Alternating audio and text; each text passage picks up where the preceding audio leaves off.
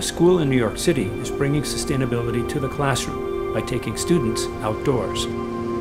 Going outside, we take the air we breathe for granted, and it's really interesting digging deeper into the idea of like what is our air quality like and like what it looks like like every day.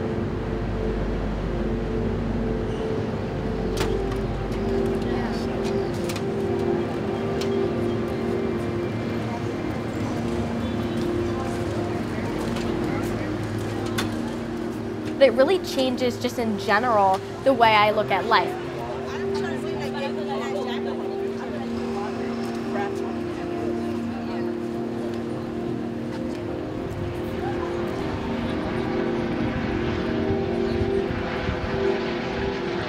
Living in one of America's most polluted cities, today the class is learning about air quality.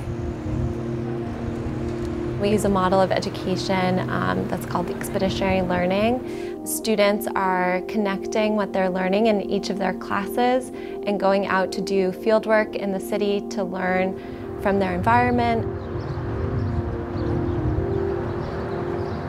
Students designed their own questions after learning about issues related to air quality. Yeah, let's try to retake the photos maybe and see what happens. Go ahead and tell us what are what colors are those circles that you're seeing? I'm seeing green.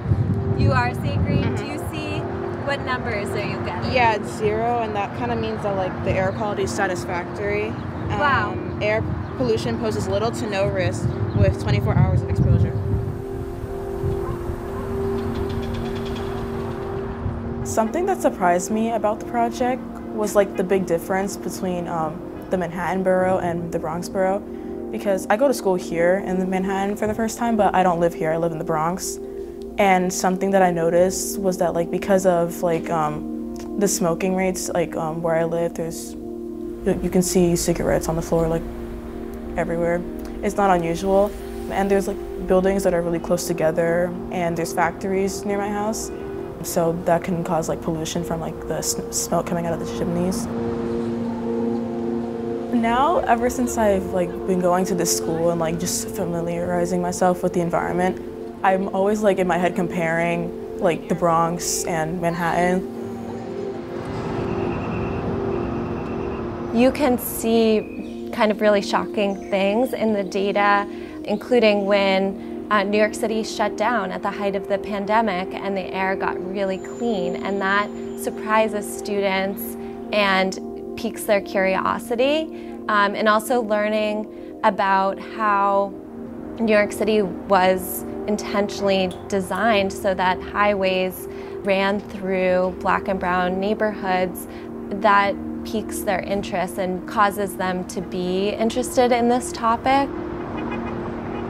I think students get excited about this kind of work because it's getting them out of the textbook and connects all the disciplines in a holistic way that is based in their place, based in their community, based on what they see around them and what they think is important. And they feel like they have a voice in their learning process.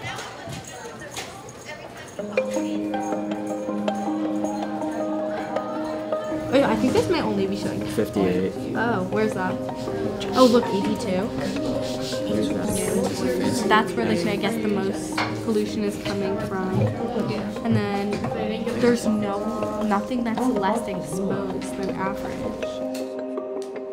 What's really interesting to like kind of look outside and to actually analyze that data as what we're breathing, what's going inside our bodies and how that's gonna affect us in the long run, how that's gonna affect our kids, things like that. So I was really excited about it.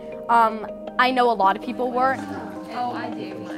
I mean, I, we looked at the data, almost like 7 million people die each year because of poor air quality, so it's like you don't want 7 million people dying each year, like that shouldn't be happening.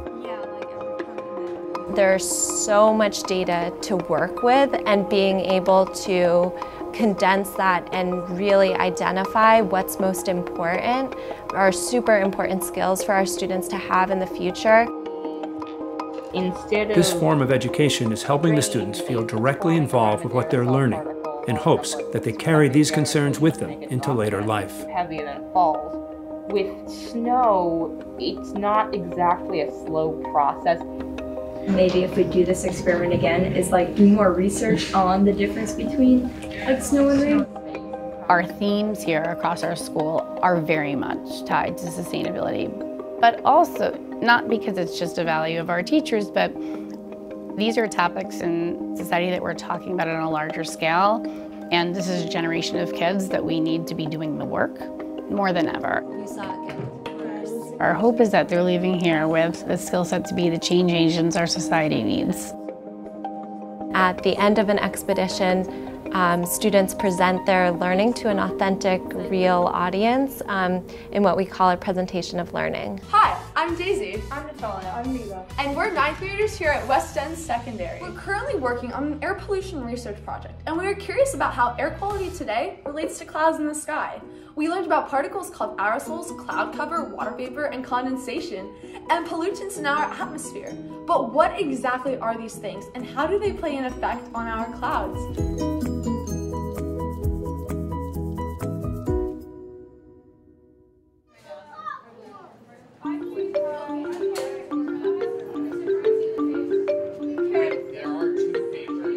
Students actually experience the process that scientists have to go through in communicating data that could be potentially dry and uninteresting in one perspective, but they can turn it into a narrative that engages a public audience. Showing like examples of transparent. So it makes students feel powerful in that they can use their data to make meaningful change. We have 12 middle school students, 6th and 7th graders from public school West End Secondary School in my district. And the importance of this lecture on sustainability isn't lost on this classroom. Climate change is a huge thing with everything going on in today's world. I feel so impacted by something like this just because we have to think about this is our future. I'm worried about what's going to happen. One person isn't going to change anything. We need a community to come together. If enough people do it, it will be able to make a change.